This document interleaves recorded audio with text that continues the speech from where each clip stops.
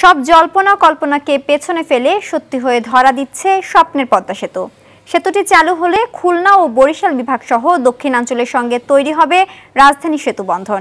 দেশের যোগাযোগ খাতে আসবে বৈপ্লবিক পরিবর্তন। মুন্সিগঞ্জ প্রতিনিধি শেখ মোহাম্মদ শিমুলের রিপোর্ট, জানাচ্ছেন অভি ইসলাম। অনেক কষ্ট, স্বপ্ন আর আকাঙ্ক্ষার অবিশ্বাস্য পদ্মা সেতু। প্রমত্তা পদ্মা নদীর ওপর নির্মিত পদ্মা সেতু বাংলাদেশের একটি বহুমুখী সড়ক ও রেল সেতু, যা পৃথিবীতে সেতু তৈরির ইতিহাসে একটি বড় চ্যালেঞ্জিং নির্মাণ প্রকল্প।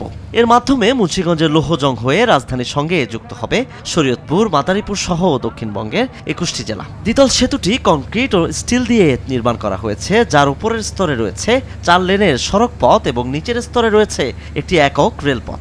এত অল্প সময়ের মধ্যে যে আমাদের সরকার এত বড় নদী পদ্মা সেতুর উপর একটা সেতু বসাবে এত অল্প- অল্প সময়ের মধ্যে সেটি আমরা এত সময় আশাও করতে পারিনি।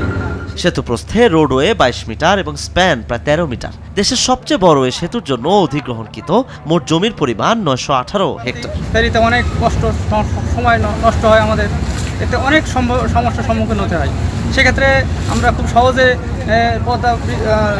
নদী অতিক্রম করতে পারব। দু সালের এগারোই জানুয়ারি প্রথম দফায় সেতুর ব্যয় সংশোধন করে ব্যয় ধরা হয়েছিল বিশ হাজার পাঁচশো সাত কোটি টাকা। পরবর্তীতে পদ্মা সেতুর ব্যয় আরও আট হাজার কোটি টাকা বাড়ানো হয়। এতে পদ্মা সেতুর ব্যয় দাঁড়িয়েছে সব মিলিয়ে আঠাশ হাজার সাতশো তিরানব্বই কোটি টাকা। এই প্রকল্পটির মাধ্যমে প্রত্যক্ষভাবে দেশের প্রায় তিন কোটিরও বেশি মানুষ উপকৃত হবে। আমাদের সমগ্র দক্ষিণাঞ্চলের কৃষক ভাইদের উৎপাদিত শস্যাদি অতি সহজেই সারা দেশে পৌঁছে যাবে। আমরা আমাদের ন্যায্য মূল্য পাবো। দ্রব্য আমদানি রপ্তানির ক্ষেত্রে আমাদের অনেকটা ভূমিকা রাখবে। দক্ষিণ অঞ্চলের জন্য অনেকটা সৌভাগ্যের প্রতিশ্রুতি বয়ে আনবে আর কি পদ্মা সেতু। বাংলাদেশ সেনাবাহিনীর বিশেষজ্ঞ দলের তত্ত্বাবধানে বাংলাদেশ ও চীন সহ আঠারোটি দেশের প্রায় তিন হাজার প্রকৌশলী এবং পাঁচ হাজারেরও বেশি শ্রমিকের কঠোর পরিশ্রমে গড়ে উঠেছে এই স্বপ্নের পদ্মা সেতু যা দেশকে নিয়ে যাবে অনন্য উচ্চতায়। অভি ইসলাম টিভি।